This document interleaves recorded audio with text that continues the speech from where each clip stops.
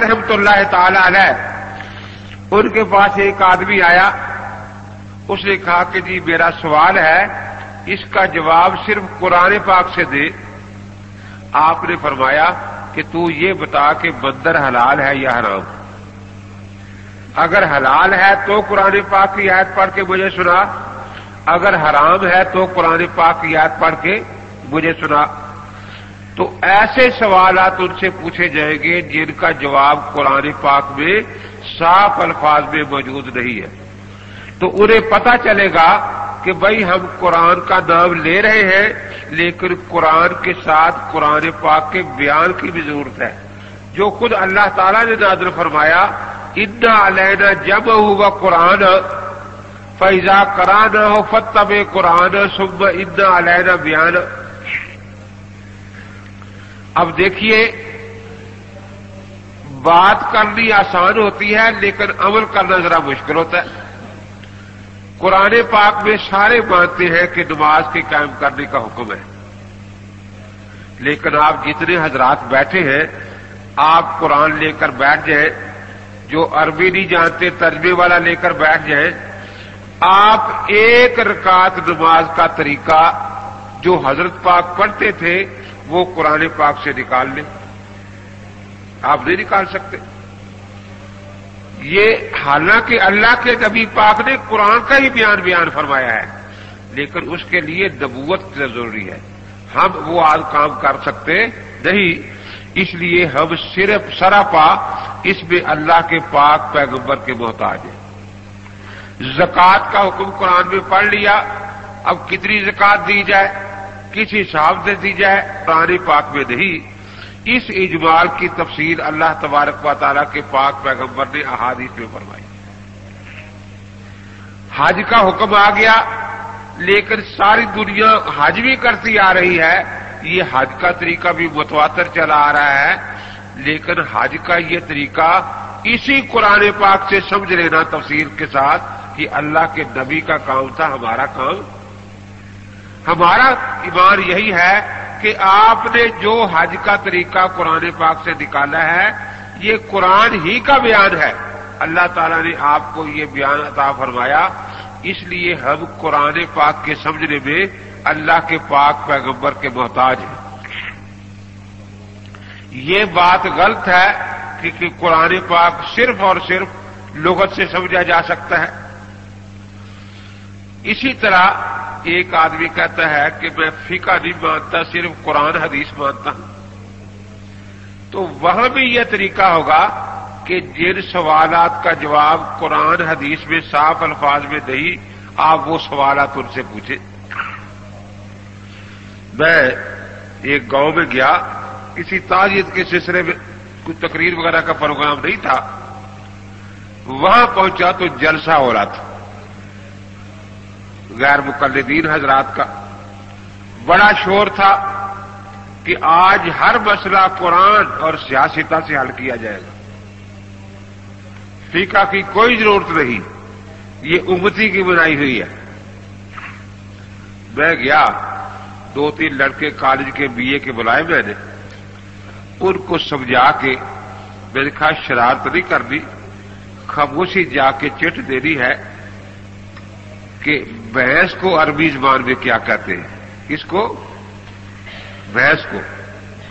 وہ کہیں گے جاموس۔ اس کے بعد لکھنا کہ قرآن پاک میں یا سیاستہ میں ہمیں لفظ جاموس دکھا دیا جائے کہ بحث حلال ہے یا حرام۔ وہ کہیں گے تم شرارت کرنے آئے ہو۔ کہ نہیں، شرارت کرنے دی ضرورت ہے ہماری۔ لیکن پہلے یہ ضرورت ہم فقہ سے پوری کر رہے تھے بہتی زیور میں پڑا تھا کہ بحث حلال ہے۔ آج آپ نے اعلان کر دیا کہ فقہ غلط ہے۔ اس لیے آ کر اس کے گوشت کی ضرورت ہے، دودھ کی ضرورت ہے، گھی کی ضرورت ہے، مکھن کی ضرورت ہے، لسی کی ضرورت ہے۔ تو یہ تو ضرورت ہے ہر گھر کی۔ اس لیے ہم حاضر ہوئے ہیں کہ چلو قرآن اور حدیث سے مسئلہ سمجھ آ جائے۔ تاکہ کوئی شک اور شبہ باقی نہ رہے۔ اب وہ چلا گیا۔ انہیں جا کے چٹ دی۔ اس میں لکھا کہ بھینس کو عربی زبان میں کیا کہتے ہیں۔ اس نے کہا جاموس۔ انہوں نے لکھا کہ آپ قرآن کی وہ آیت جس میں لفظ جاموس ہو یا سیاستہ کی وہ حدیث جس میں لفظ جاموس ہو، وہ ذرا پڑھ دے تا اور پتہ چل جائے کہ بھینس حلال ہے یا حرام۔ جب یہ رکا گیا تو اس نے سپیکر والے کی طرف اشارہ کیا مولوی صاحب نے جو تقریر کر رہے تھے کہ سپیکر بھائی ذرا بند کر دو۔ اسپیکر بند کر دیا۔ اس نے کہا بھی سچی بات یہ ہے کہ اس بارے میں قرآن پاک اور سیاستہ میں کوئی حدیث نہیں۔ اور ہم قیاس سے بھینس کو حلال کہتے ہیں۔ اس نے کہا کہ مولانا سچی بات چھپانی چاہیے یا بتانی چاہیے؟ میں بتا تو رہا ہوں کہ اس طرح نہیں، سپیکر کھول کر۔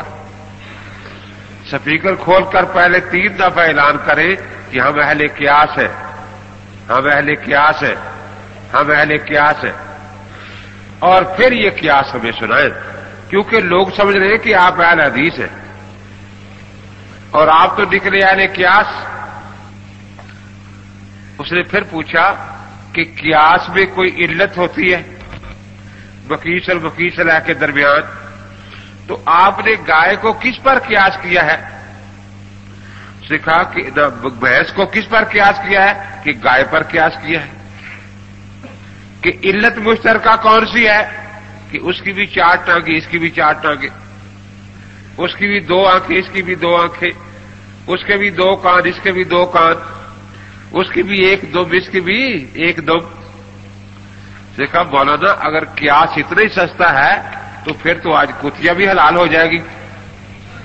کیونکہ یہ مشاورتیں تو وہاں بھی مل جائے گی۔ اب وہ لڑکا کال کا تو شرارت سے آگے یہ بھی کہہ دیا کہ اس کا مطلب یہ ہے کہ میری بیوی تو نکاح سے میرے لیے حلال ہے، آپ کی بیوی قیاس کی وجہ سے حلال ہو جائے گی یا نہیں؟ اس کے بعد وہ آ گیا، میں نے بھیجا تھا کہ تینوں اکٹھے جاؤ، لیکن آنا اکٹھا نہیں۔ ایک آدمی آ کے جتنی کاروائی ہوگی سنا دے، باقی دیکھے کہ بعد میں کیا ہو رہا ہے۔ ایک آ گیا، ہنستا ہوا میں نے کہا، سناؤ کیا بات ہے؟ کہنے لگا جی انہوں نے اس کو اتار دیا اسٹیج سے کہ تجھے جی آتا جاتا کچھ نہیں، اتر جا اور اس نے یہ بتایا ہے کہ ہم قیاس کرتے ہیں۔ میں اپنی بستی میں بیٹھا تھا، میں نے اسپیکر کھول لیا۔ میں نے کہا بھی سب دوست جو ہے گاؤں والے اچھی طرح سمجھ لے کہ اشتہارات غلط چھپ گئے تھے۔ اس پر لفظ اہل حدیث لکھا ہوا تھا، یہ اہل قیاس ہے۔ اس لیے میں ہر سنی مسلمان کو درخواست کروں گا کہ کل ان کو ملے۔ السلام علیکم یا اہل قیاس۔ السلام علیکم یا اہل قیاس۔ اور روزانہ ان کو اسی طرح سلام کیا کریں۔ اب وہ بڑے پریشان ہوئے کہ یہ کیا مصیبت آ گئی۔ یہ تو ہر جگہ مشہور ہو جائے گا، یہ اہل قیاس ہے اہل قیاس ہے اہل قیاس ہے دوسرے مولوی صاحب بڑے غصے سے آئے۔ کوئی قیاس نہیں۔ ہم اہل حدیث ہیں۔ حدیث سے ثابت ہے کہ بحث حلال ہے۔ کوئی اور سی حدیث ہے؟ اللہ کے پاک پیغمبر صلی اللہ علیہ وسلم نے ارشاد فرمایا کہ جو جانور ڈار سے شکار کرے وہ بھی حرام ہے۔ اور جو پنجے سے شکار کرے وہ بھی حرام ہے۔ بھینس نہ ڈار سے شکار کرتی ہے نہ پنجے سے، اس لیے حلال ہے۔ مسل قید حدیث زندہ باد۔ میرے کہا حدیث پاک سننے کا بڑا بڑا شکریہ۔ اللہ تعالیٰ علم بھی اور برکت عطا فرمائے۔ یہ فرمایا کہ جو آپ نے گھر میں گدا رکھا ہوا ہے، یہ ڈار سے شکار کرتا ہے یا پنجے سے کرتا ہے؟ اور اس کی آپ کباب کھاتے ہیں یا نہیں کھاتے؟ اب وہ بڑا بھوک کھلایا بیچارہ۔ اب بار بار کہے ہاں ہاں بخاری شریف میں ہے کہ جنگلی گدا حلال ہے۔ بخاری شریف میں ہے کہ جنگلی گدا حلال ہے۔ میں کہوں اللہ کے بندو، اس کو سمجھاؤ۔ میں کہتا ہوں، بھینس حلال کرو، یہ گدے حلال کر رہا ہے۔ اس کو سمجھاؤ کہ بھینس اور گدے میں فرق ہوتا ہے۔ وہ کہے، تو دھوکہ دے رہا ہے، دھوکے باز ہے۔ میں جگری گدا حلال کر رہا ہوں، گھر والا حلال نہیں کر رہا۔ میں نے کہا، گھر والے نے شکار کھیلنا شروع کر دیا ہے۔ آخر جو تو نے حدیث سنائی، اس کے بلا تو حلال ہو گیا وہ۔ اگر بھینس اسی حدیث سے حلال ہے، تو گدا بھی حلال ہے۔ اس کے بعد دوسرا آ گیا، کہنے لگا جی اس کو بھی انہوں نے اتار دیا ہے۔ اس نے کہا کہ ہم ہر سال میں ایک جلسہ کراتے ہیں، ہر سال تو کوئی نئی مصیبت ڈال جاتا ہے۔ ہمیں پچھلے سال تو کہا گیا تھا گھوڑا حلال ہے۔ اور پورے علاقے میں لوگوں نے ہمارا نام رکھ دیا ہے، وہ آ گئے گھوڑا گروپ والے۔ وہ آ گئے گھوڑا گروپ والے، وہ آ گئے گھوڑا گروپ والے۔ اس سال گدا حلال کر دیا ہے۔ اچھا جلسہ ہوتا ہے کہ ہر سال کوئی نہ کوئی نئی مصیبت پڑ جاتی۔ اس کے بعد تیسرے مولوی صاحب کھڑے ہوئے کہ بھی سچی بات یہی ہے کہ اس میں ہمارے پاس حدیث نہیں ہے، ہم قیاس کرتے ہیں۔ اور قیاس کی علت یہ ہے کہ جس جانور کے سب کھور چرے ہوئے ہو سب یا کھور سمجھے نا آپ؟ چرے ہوئے ہوں، کہتے وہ جانور حلال ہے اور جس کے نہ سب چرے ہوئے وہ حرام ہے۔ اب بھینس کے سب چرے ہوئے ہیں، گدے کو سب چرے ہوئے نہیں، اب بیچارے نے بڑا زور لگا کے یہ جواب دیا۔ میں نے کہا کہ اللہ کا شکر ہے کہ آپ اہل قیاس ہیں، آپ نے بات سچی کہہ دی۔ لیکن قیاس کرنے کا طریقہ آپ کو نہیں آتا، وہ آئندہ بوئی تحدیر کو آیا کرتا ہے۔ جس کا کام اسی کو ساجے اور کرے تو ٹھیکا باجے۔ میں نے کہا، اگر یہی علت ہے قیاس کی تو میں درخواست یہ آپ سے کروں گا کہ ساری بحثیں جو ہے وہ حنفیوں مدرسے میں بھیج دو، دودھ کے لیے۔ اور آپ اپنے مدرسوں میں خرزیرنیاں باندھ لیں کیونکہ ان کے بھی کھور چرے ہوئے ہوتے۔ ان کا دودھ پی لیا کرے خرزیرنی کا۔ کہتے اس کے بعد وہ تیسرا بھی ہنستا ہنستا آ گیا، کہتے جلسہ ختم ہو گیا ہے، اب وہ آرام سے بیٹھ گئے۔ پھر میں نے اپنی بس میں تقریب شروع کی۔ نے کہا دیکھو، ایسے موقع پر آئندہ بوئی تحدیر کی قدر آتی ہے اور پتہ چلتا ہے کہ آئندہ بوئی تحدیر دین کو کتنا واضح کر کے بیان فرما گئے ہیں۔ قرآن پاک میں چار جانوروں کا ذکر ہے، اونٹ، گائے، بھیڑ، بکری۔ آئب بوئی تحدیر سے نے اس سے ایک مشترکہ علت نکالی ہے، جگالی کرنا۔ جگالی؟ کہ جو جانور جگالی کرتا ہے وہ حلال ہے اور جو جگالی نہیں کرتا وہ حرام ہے۔ اب یہ قاعدہ جو ہے اصول کا، فقہ کا، اس قاعدے سے دنیا بھر کے جانوروں کا حکم معلوم ہوگی تو فقہ جو کہتے ہیں قیاس قیاس اسی کا نام ہوتا ہے کہ اصل میں پہلے قاعدہ کتابوں شروع سے نکالا جاتا ہے۔ تو جیسے حساب کا ایک قاعدہ نکال لے کہ نو دہ اکاسی۔ اب قیامت تک جتنے سوالات اس قاعدے والے ہوں گے، اسی قاعدے میں آ گئے نا۔ اب اس قاعدے سے جو جواب نکلیں گے، اس کو آپ حساب کا جواب کہیں گے یا سوال نکالنے والے کی ذاتی رائے کہیں گے؟ کیا خیال ہے؟ صرف یوں آپ سر ہلا رہے ہیں، زبان بندی ہے جائے۔ جو حساب کے کارے جواب نکلے گا اس کو حساب کا جواب کہیں گے یا ذاتی رائے میری کہیں گے؟ اسی طرح جو جواب کتاب و سنت کے قاعدے سے نکلے گا، وہ بچت کی ذاتی رائے نہیں ہے۔ وہ کتاب و سنت کا جواب ہوتا ہے۔ جو یہ کہتے ہیں کہ فقہ بچت کی ذاتی رائے ہے، وہ ایسی جھوٹ بولتے ہیں جیسے کہ کہے کہ حساب کا جواب سوال نکالنے والے کی ذاتی رائے ہے۔ یا سرف ناب کا جواب جو قاعدوں سے نکالا گیا ہے، یہ کسی کی ذاتی رائے ہے۔ یہ ذاتی رائے نہیں کہ کلو فائل المرفوظ بلکہ یہ قاعدہ ہے باقاعدہ اکثر ہونا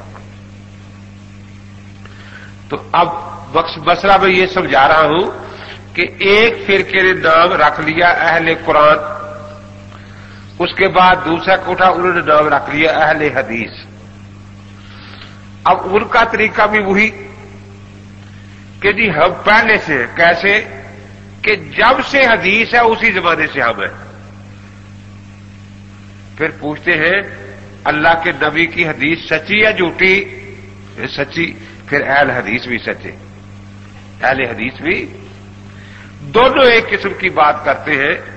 ہم یہ کہتے ہیں کہ جیسے اہل قرآن قرآن یقین سچا لیکن اس دور کے اہل قرآن جو سنت کے برکر ہیں، وہ یقیناً جھوٹے ہیں۔